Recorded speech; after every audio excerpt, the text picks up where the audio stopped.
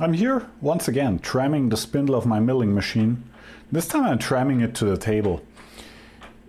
There, when I when I did my last video on tramming, I'm already doing my second one here.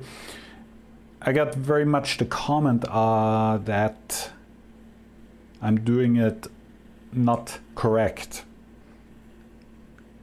At least I had, had it felt like that.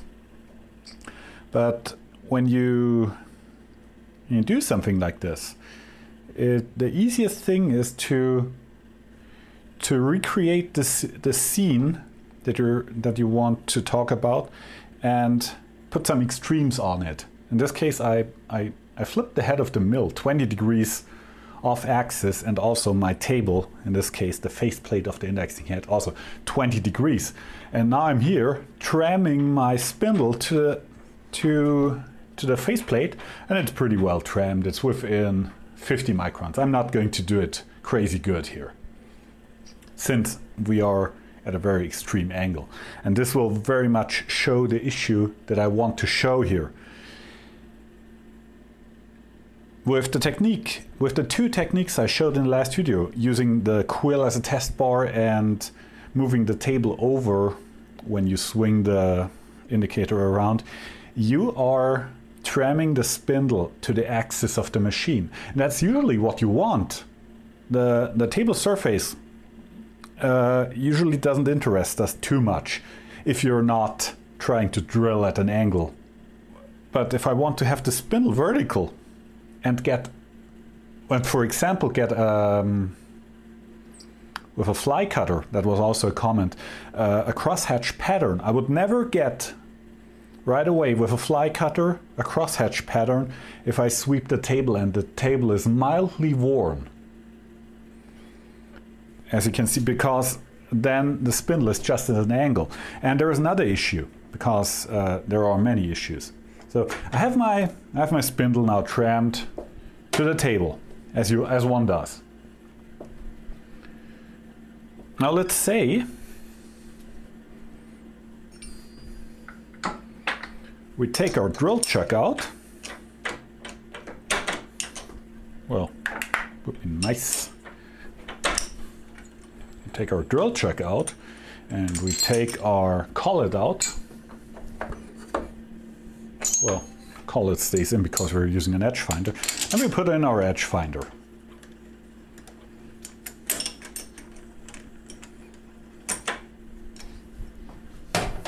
And we have a feature on our part. This is just a magnet to show you the, the idea here.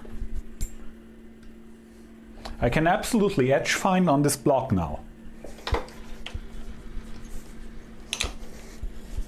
Which I will do.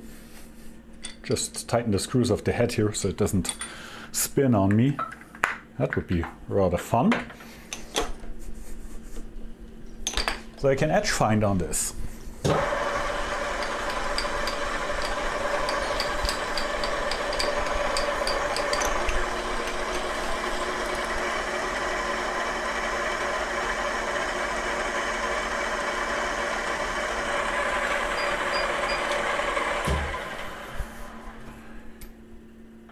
Okay, did my edge finding. Zeroed out my DRO, or entered half the diameter of the edge finder. Okay, what now? Uh, now we want to drill a hole.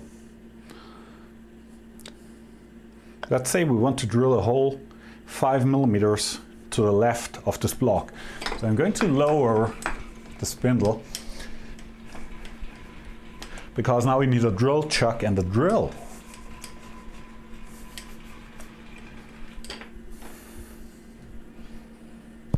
If I can find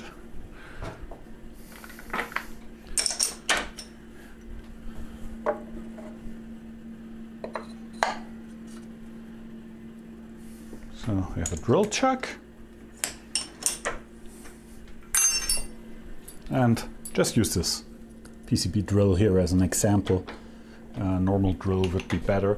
So now I'm moving over my my five millimeters and want to drill a hole. It should be 5 millimeters over from this edge, but uh, Uh, whoops.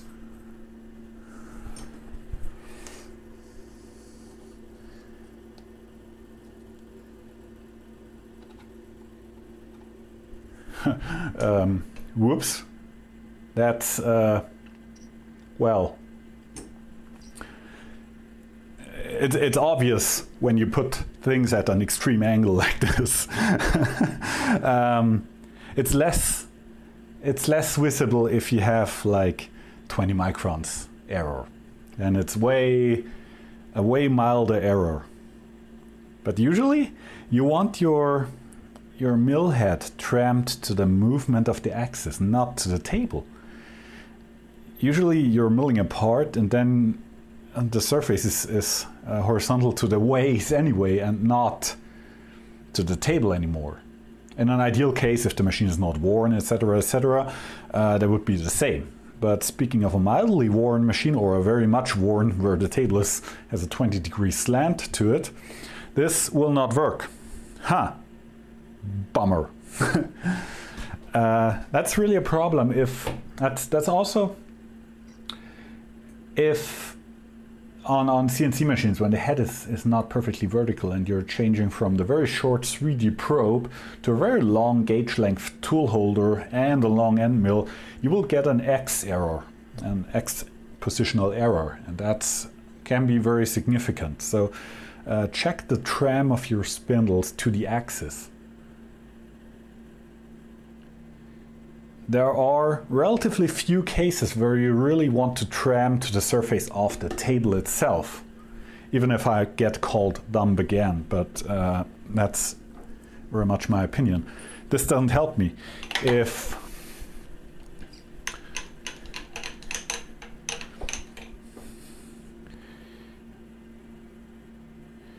But with the two techniques I showed, I can tram the spindle of the machine vertical to the travel despite the table itself being completely off. So let's get the drill chuck out of the way because this eats up a ton of Z space. First the test bar or the quill method where we extend the quill and we just run an indicator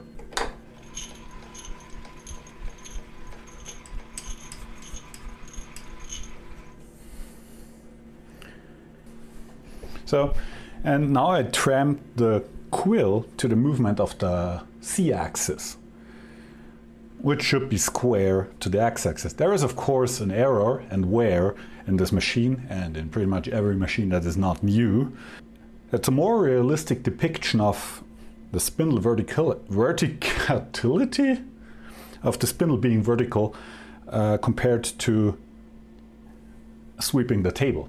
How would you do the sweep move sweep method that I showed in the last videos with, with a table that's that much off? Well, you could put a tooling ball here on the table and find the top spot of that ball and spin and do the same again. Let's, let's try that. I have a ball on a shank here in a V-block and I'm just going to magnet it to the table here. Should be, should be rigid enough to do some indicating on it. Let's try this. I, I have not done this before, so, well, that's the wrong call it.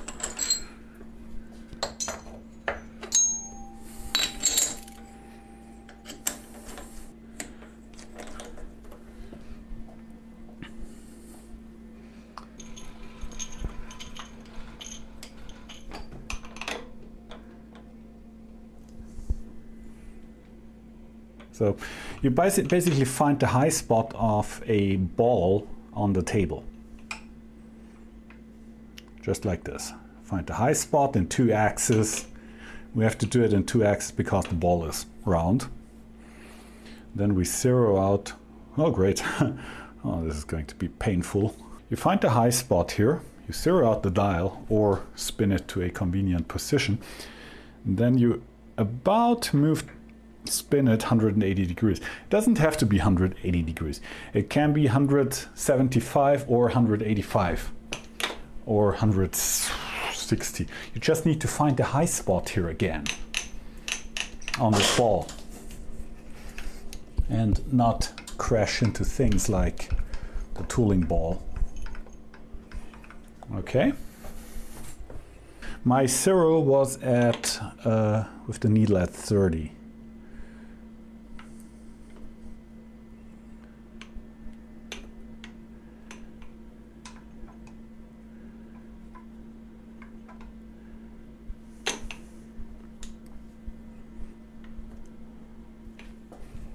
So spindle is not trammed very well. It's off by 50 micron over a swing of over a swing of 140 millimeters in diameter. That's not brilliant. But it gives you the idea that we can do tramming with the table completely out of tram if you use the top of a tooling ball. This is a very esoteric method, but I think it goes to show that there are about a million ways to do things, and often it's not obvious what you want to achieve. At first glance, you think, yeah, sure, I will just sweep the table. But if the table is, is out of flat, or if you have an universal table on your machine, uh, that's an issue. So let's let's get this trammed a little bit better. Yeah, this is going to be super painful to tram on the ball. Because when the indicator moves, you get a false reading, of course.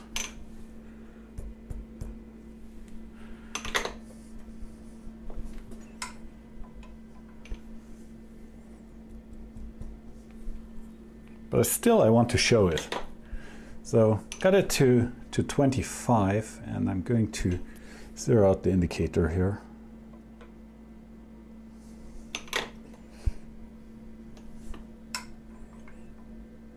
Okay, one.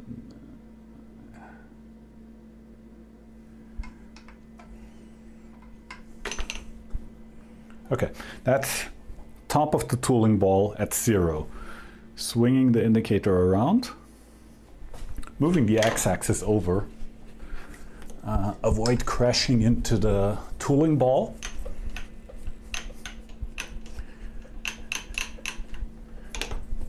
And finding the high spot of the tooling ball again.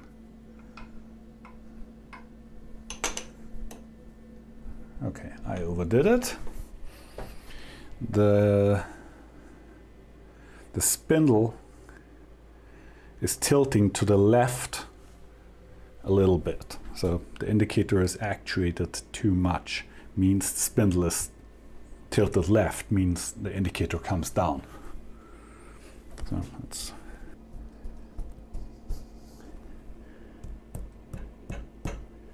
Let's see if we get it on this try.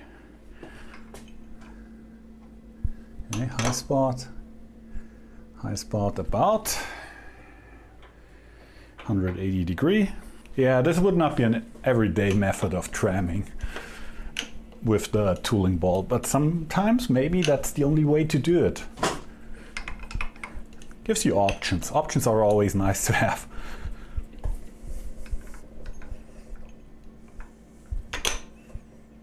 There we go. Yeah, that's within 10, 10 microns. A little bit more, 12 maybe. A little bit more than one needle's width over 10 micron.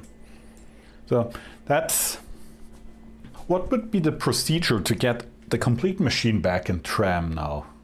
Like get the table back squared.